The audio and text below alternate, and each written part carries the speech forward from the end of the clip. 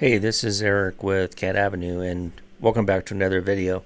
Um, if you haven't subscribed to our channel, make sure you do so. Uh, we add videos very frequently, so um, the videos are all about CAD, AviCAD, uh, Mech-Q, which is our uh, engineering add-on. So be sure and check that out. um, so today I wanted to talk about blocks and how to save blocks, insert blocks, and so forth course, blocks are the same as drawings, AutoCAD drawings, for those that are new to CAD. Um, but the nice thing about blocks is they're usable and they can be, you know, configured in a way uh, where they can save you loads of time if you organize them in the right way. I'll talk a little bit about that as well. So today I'm going on this site. It's just a random site, I guess you could say, that I found. It's called 3D Content Central, is the name of it. You have to sign up for it, it is free, but it's kind of a typical download site that you would find on the web. Uh, where you could download either um, 2D or 3D blocks and so forth. So have a little search area here, and then once you find your block, you can download it in several formats. So it's kind of nice. Uh, I'm looking at the it's like it's uh, Ace Pump, this uh, pump here, and I just clicked on this uh, thumbnail here to start the download. So that's kind of where I'm at. I've selected 2D.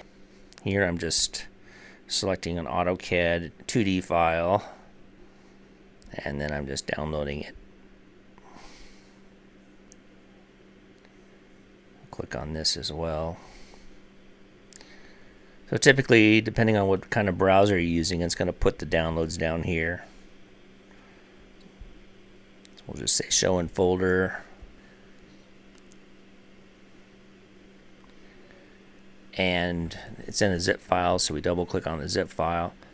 Now at this point, we can just double click on this, the drawing itself, and that opens up AviCAD. AviCAD is a um, a AutoCAD-like program. So a lot of the things that are in AutoCAD are the, same. About 90% of the uh, commands. Uh, this is a read-only drawing. So we're gonna what we're gonna do is we're gonna save it as a different drawing. We'll just call it Ace Pumps. Get rid of this.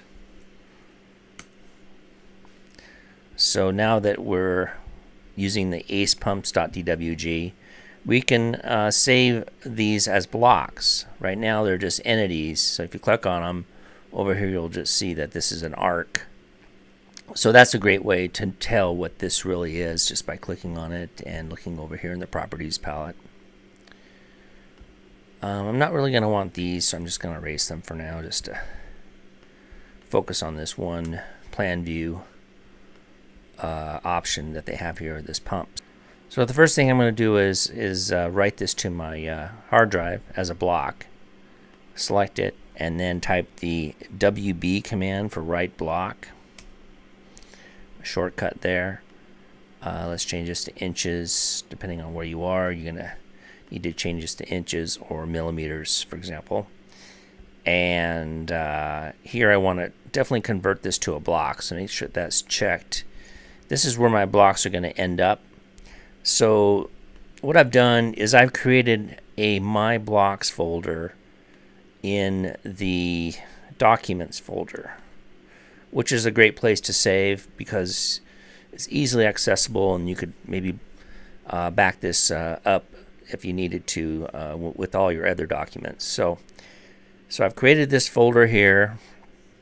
I'm not going to get into how to do that, but um, so this is where I'm saving the block. So I choose OK. Looks like I haven't renamed this yet, so I'm going to go ahead and rename this to um, ace.drawing or acepump.drawing. It's a good thing to, to kind of give this a name where you can actually look at the drawing file uh, without having to open it. So um, anyways, so that's been saved as a block and also it's been converted into a block. So over here we'll say block reference and all this is one piece. So next I wanted to show you different ways that you can insert this block. So let's go ahead and create a new drawing up here. Uh, in AviCAD, there's really two basic templates. This is the imperial and this is the metric, so depending on what you need. Now that we're in a new drawing called Drawing 4, let's go ahead and type the I command for insert block. And here we can browse to the block folder and then open it and then insert it. Gives us some options on here what to do. So now this block just comes in like so. Notice that it's inserted by this point here. And the reason being is I did not give it a proper insert point when I saved the block. If I go back into that WB dialog, uh, you'll see that there's a base point option. And I just left these the way they were. So what happened was I did not define that. So if I wanted to correct that, Let's go ahead and do that. So we'll explode this with the X command. And now these are just entities again. I can go back and write the block again, this time I'm going to um, select the entities.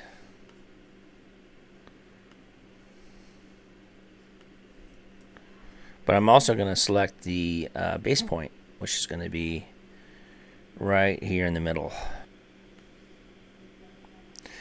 and it's set to inches, which is fine. And I'm just going to overwrite the old block.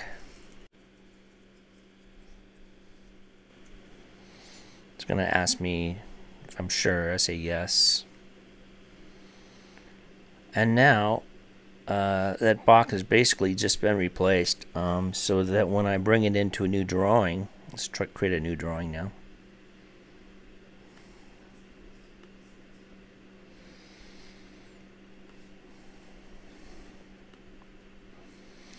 and I use the insert command. It's going to remember that last folder.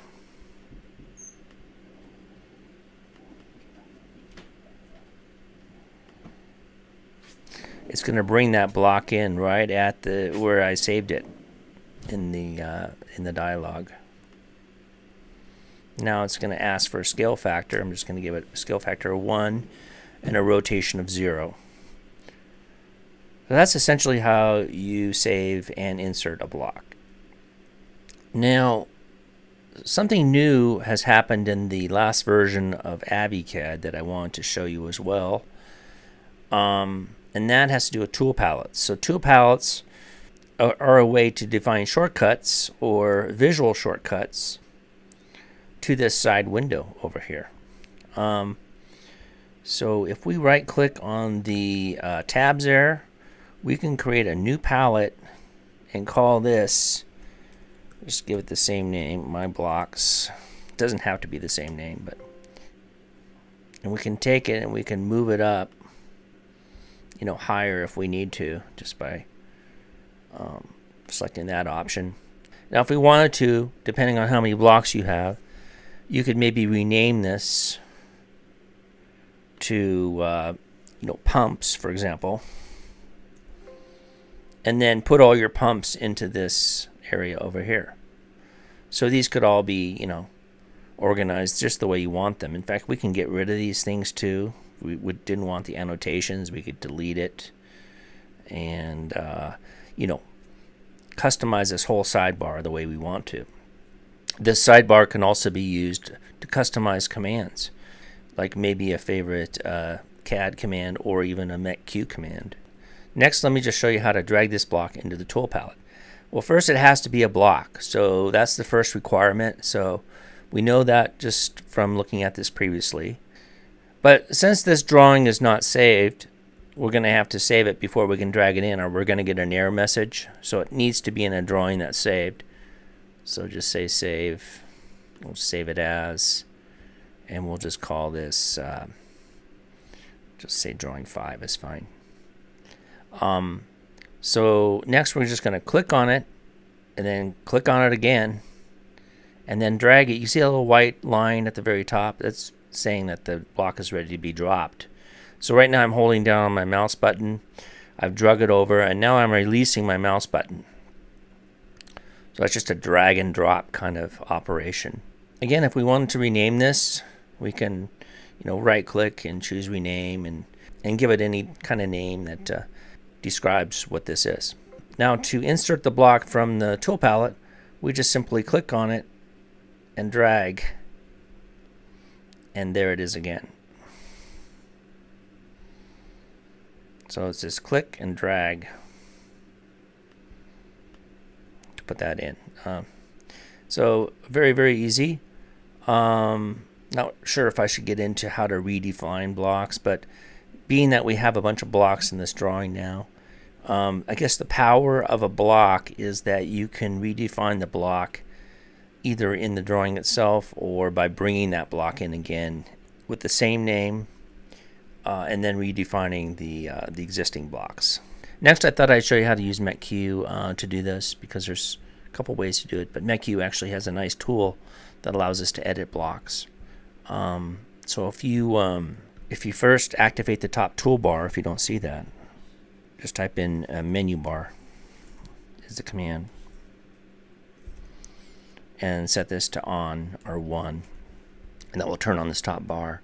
Then you can select Mech-Q, come down to drawing utilities and choose block edit. Click on the block. Uh, it's going to ask you um, uh, it to proceed and say yes. We're going to click on the block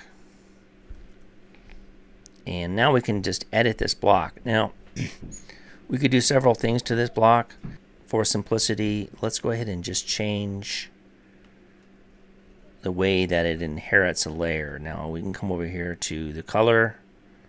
We'll just say by layer.